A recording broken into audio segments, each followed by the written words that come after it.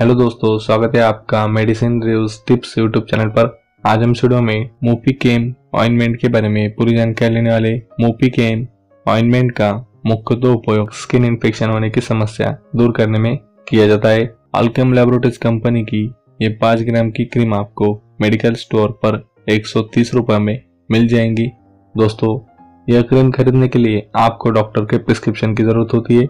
यह डॉक्टर के पर्ची पर मिलने वाली क्रीम है बात करते हैं इसमें मौजूद कंटेंट के बारे में। म्यूपी केम ऑइनमेंट में मोपिरोसिन आईपी टू परसेंट यह कंटेंट है।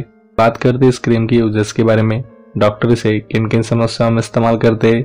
इस क्रीम का उपयोग स्किन में होने वाले बैक्टीरियल इन्फेक्शन की समस्या दूर करने के लिए किया जाता है। इसे इम्पेंटिगो की समस्या दूर करने के लिए भी डॉक्टर यूज़ करते हैं।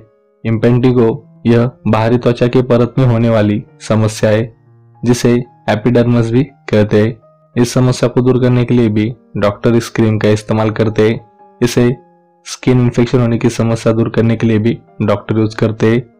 इस क्रीम का अन्य यूज़ जानने के लिए आप अपने डॉक्टर या फार्मासिस्ट से संपर्क कर सकते बात करते इस क्रीम को इस्तेमाल करने के तरीके के बारे में। आप अपनी समस्या बताकर इस क्रीम का इस्तेमाल करने का तरीका अपने डॉक्टर या फार्मासिस्ट से पूछ ले। याद रखें दोस्तों, इस क्रीम को हमेशा अपने डॉक्टर की सलाह से ही यूज़ करें।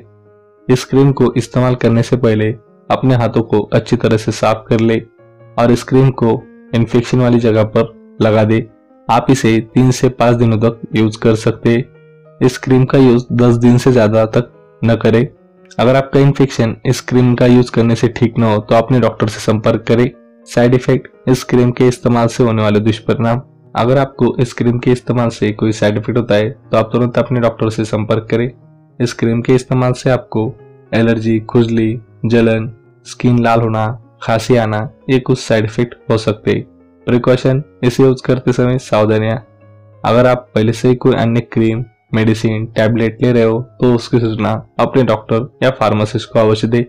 इस वजह से इस क्रीम का ड्रग इंट्रैक्शन होने की संभावना कम होती है। इस क्रीम को ज़्यादा दिन तक यूज़ ना करें।